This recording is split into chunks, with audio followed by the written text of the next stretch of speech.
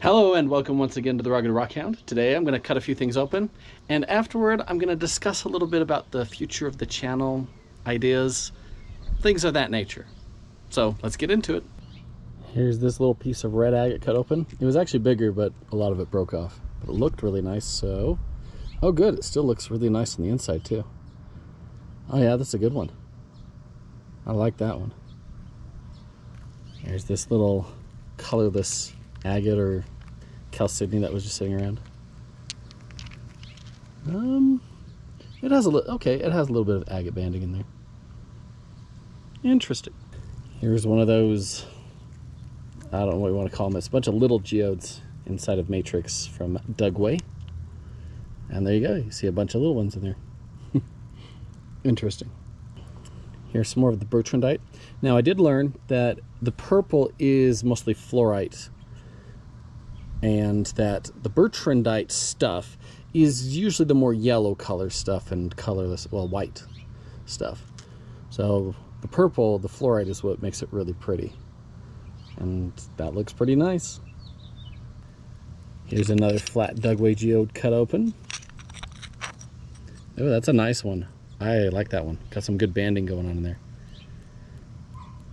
Nice. Here's another little teeny piece of the Bertrandite Tiffany stone stuff with purple fluorite. Not too bad. Here's some petrified wood. It broke up a little bit, but it looks nice on the inside. This is some more of that bogwood from Nevada. Cool. Here's some more Vernon Wonderstone. All right, not too bad.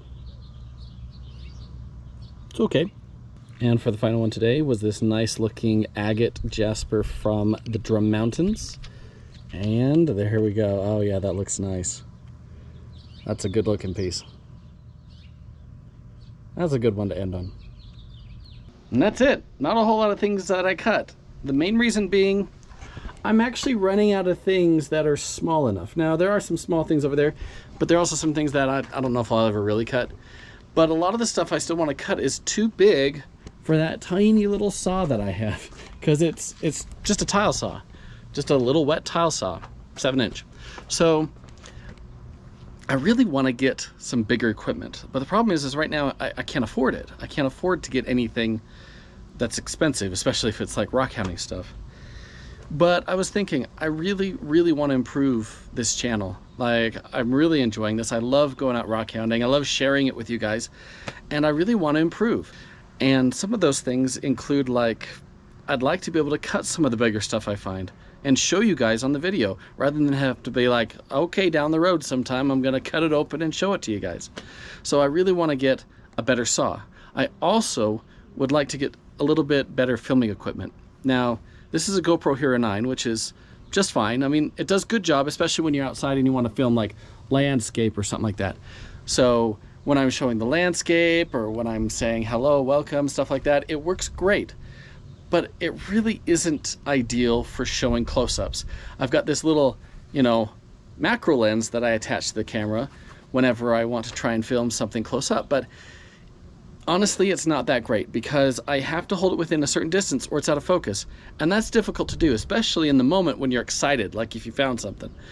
So what I'd like to do eventually is get another camera, one that's better designed for actually filming close-ups. In addition to that, whenever there's wind, the the microphone on this GoPro is not good with wind. It's terrible with wind.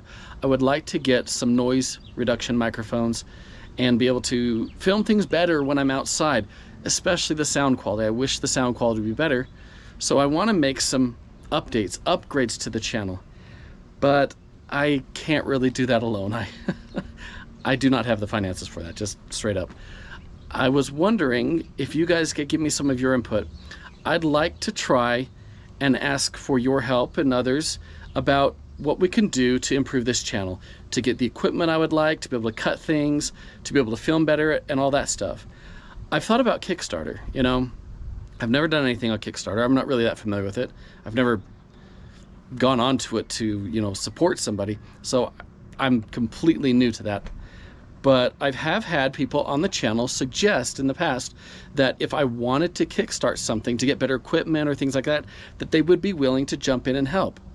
So I would like your help. What should I do? Should I try Kickstarter?